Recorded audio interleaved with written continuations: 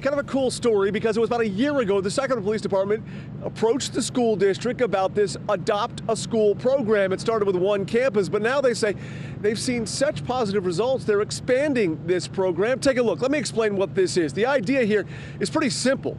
Every week, cadets at the police academy visit an elementary school to interact, play, or just chat with students during recess.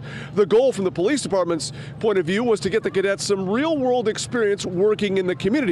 But the added benefit here, according to not just the police, but the cadets, school officials, and even the students, is how students are changing the views, or I should say, cadets are changing the views of how students view police, especially in higher crime areas. Students and teachers say before this program, students' views of police were that they were scary and that whenever they were around, it meant something must be going wrong.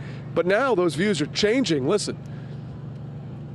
They see them as scary, there's lights, there's noises, people are in trouble, and they have no idea all the good stuff that the officers are doing for most of their job. We're building bridges, rapport, and trust, and starting with the young people, I feel like as they get older, they'll it'll stick with them from young as they get older, and hopefully it does stick with them and that they can pass it along. And as proof of how this program is working, according to the police department, we talked to one student who we said, How did you view police before this started? And he used one word scary. Then we asked him, Well, what about after this as they showed up at recess and you've been able to play with them and interact with them?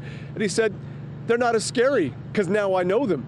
And that's the whole point of this Adopt a School program is to allow students to get to know future law enforcement uh, officers who will be hitting the streets of this community in the future so that there is a better relationship and not one that is seen as negative.